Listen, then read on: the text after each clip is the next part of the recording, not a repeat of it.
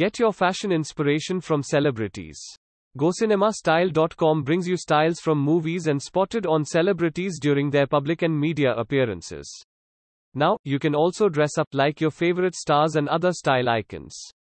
GoCinemaStyle.com is Kerala's first cinema and celebrity style blog.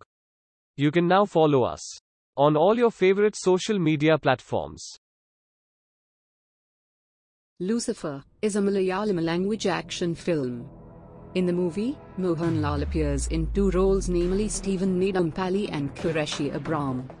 Stephen Nedumpally characterizes a daring politician of South Kerala and Qureshi Abram, an alleged gold smuggler and chief of an unnamed global crime syndicate.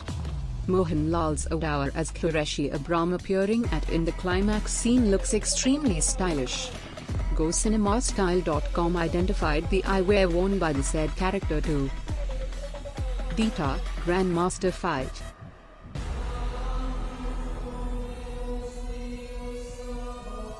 To know more details on the style, please refer to the description below the video.